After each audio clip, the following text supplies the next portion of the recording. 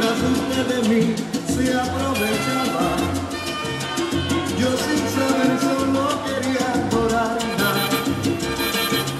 porque el que sabe amar